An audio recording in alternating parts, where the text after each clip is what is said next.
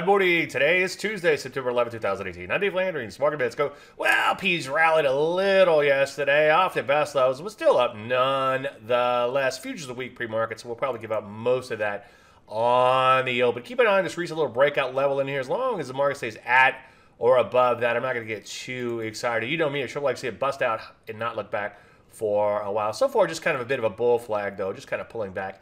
Yeah, here, take a look at the NASDAQ. Also pulled back right to around its breakout levels. As long as these lows in here hold, I'm not going to get too excited about the market. Up a little bit in here yesterday, better than a poke eye is what I say. Let's take a look at the Rusty. Yeah, it ended up a smidge yesterday. If you squint your eyes, you can see it was up just a little bit in here. It too has pulled back to its prior breakout level. So like the other indices, as long as it stays at or above these breakout levels. I'm not going to get too excited about the market, or worry, I should say, about the market too much. You know, Tino, take things one day at a time. Any questions, as usual, dave at davelandry.com. I'm Dave Landry, and you just heard Mark Bennett.